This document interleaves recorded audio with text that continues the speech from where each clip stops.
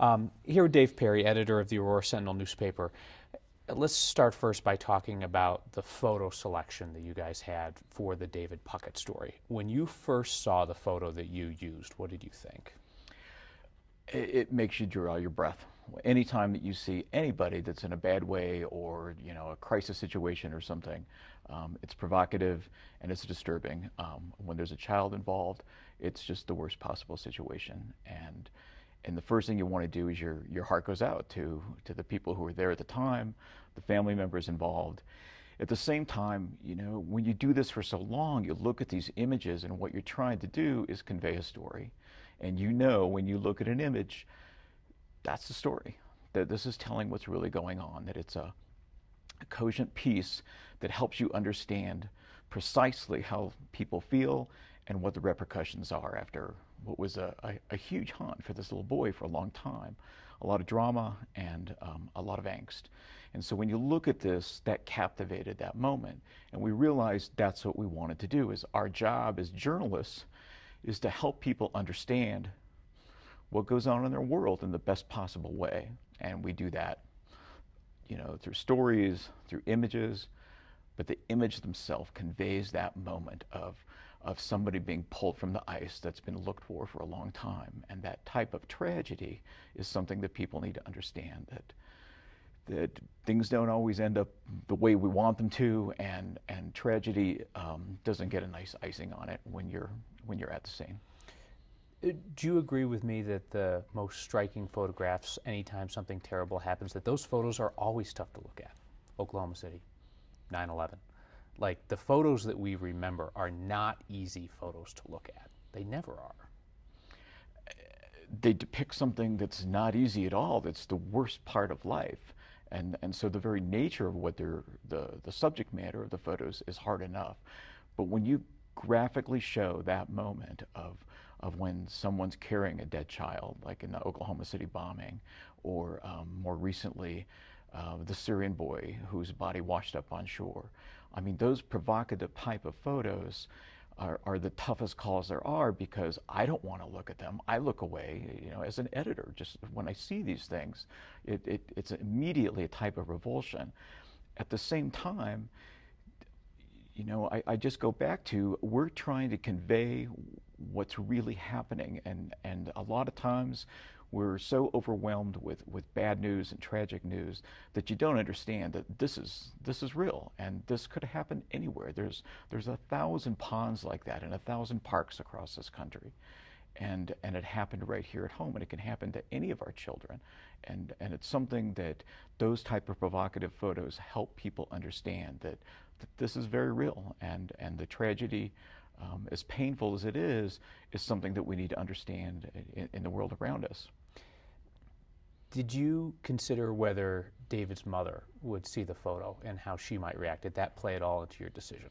That's the first thing we think of, and any human does, any parent does, is is what would the parents think having to see this, and that days from now, you know, there may be a funeral for this little boy, and we may or may not be there, but we've covered these type of events before in funerals, and usually the, one of the classic shots that come out of a out of a, a, child's funeral is the casket, the small casket, and we've all seen these, and it, it has a very similar effect, but we don't get the complaints from that. It's like it, in some ways they're very similar. Is like you know that there's the body of a small child inside that container, no different than it is in a body bag. But the context of what's happening is the story isn't about the loss of a child days later. The story here is about the worst possible result of an investigation. And people who were just hours before out searching for this little boy, the immediacy of what we can do with these type of photos helps people understand that the tragedy happens in this way. And and we don't want to inflict that pain. And we think about that you know what would that parent feel? But we don't produce news just for one single person, that this was a very public event. The search was a very public event, and the ending was a very public event too.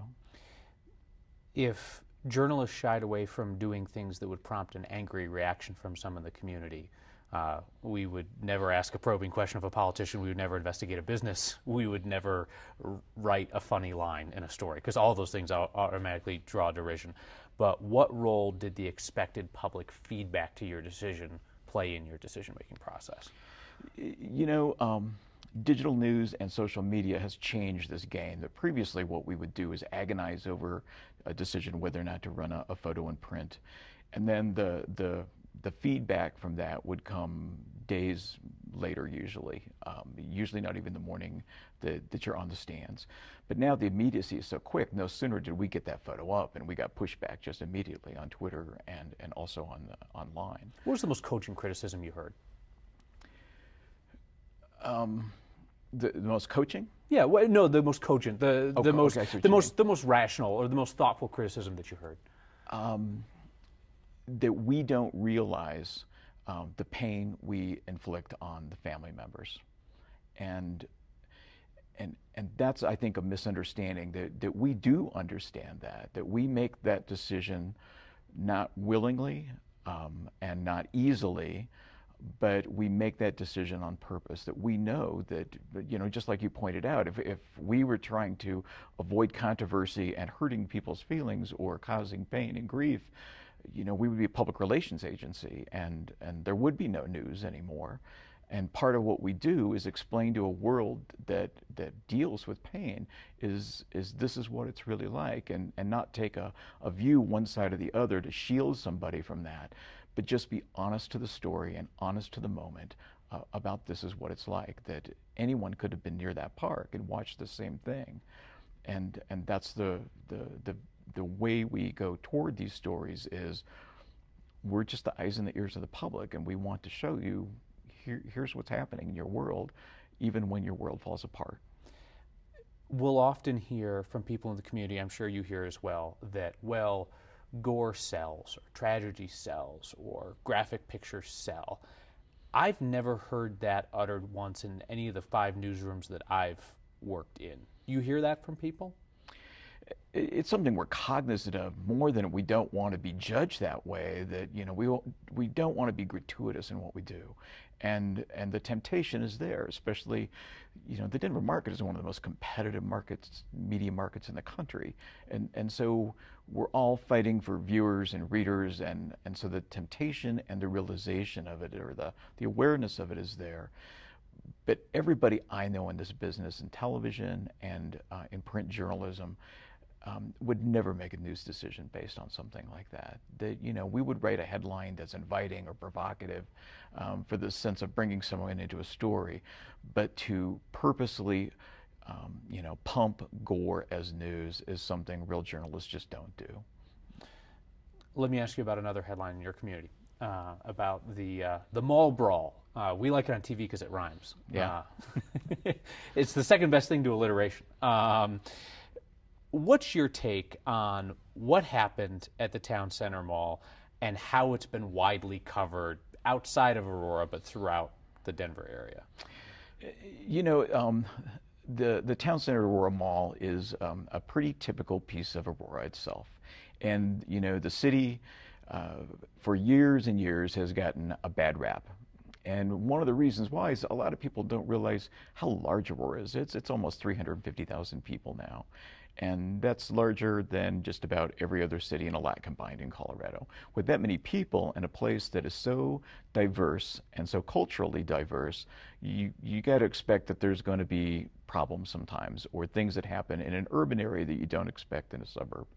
So the mall is kind of a reflection of that, is that it's a large mall in a large city, and there's a very diverse population that goes there.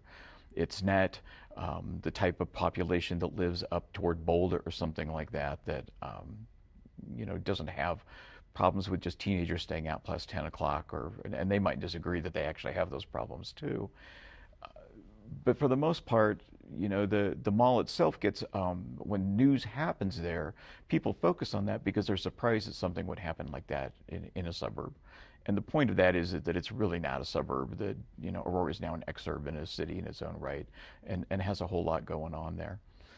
But the the mall itself has you know rightfully been criticized for some things that they've done.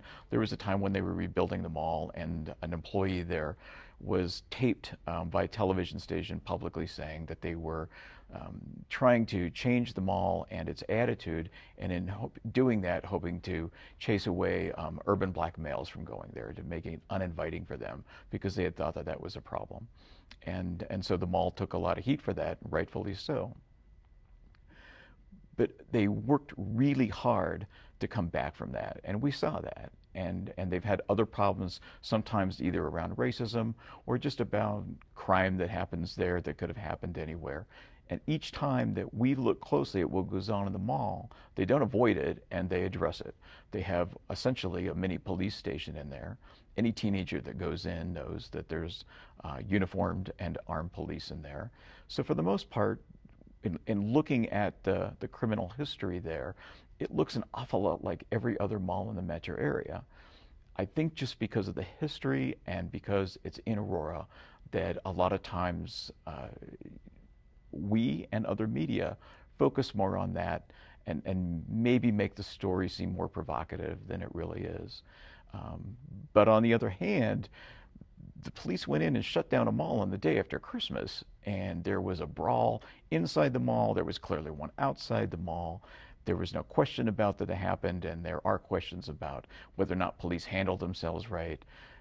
There's questions about how the mall handled, you know, large quantities of teenagers uh, the day after uh, a holiday. So I think there's they deserve uh, hard questions to be asked, and we're looking forward to them being forthcoming about answers, probably in the very near future. Mm-hmm. And we ran into the strange instance of a mall truther, your city councilwoman Marsha Berzins, who told us that there was no fight at the mall. There was no incident at the mall, despite the videotaped evidence. I think we can agree something happened there. It's worth talking about. Uh, harder question now. When you see the coverage outside your paper in other media outlets of what happened at the mall, do you see a racial tinge to it? No. You don't there are, are you know, Aurora and the the shoppers at this mall are, are racially diverse. So anything that happens you know, is going to show um, a, a, wide variety of people from different races and backgrounds. That's the only thing is that the story happened to involve those people, but I didn't see anything so far, and we've looked very closely that there's any kind of racially motivated coverage or there's any racially motivated problem between the police or someone in the mall. You know, that's up to the police and, and individual agencies to determine whether or not police acted right or mall officials, you know, have a, a, a problem that they are or not aware of. But just on the, the, the look of what it is, you know, we watched the television coverage, we watched your own coverage, um, that from other Denver newspapers. Uh, we haven't seen anything that, that shows that people are trying to make this into a racial issue. It's not, or hide from the fact that there were um, that there were you know, different uh, races involved uh, in, in, this, in this sprawl. Dave Perry from the Aurora Sentinel, thanks for your time. Thanks. Appreciate it very much. Thank you. Sure thing. Swing down.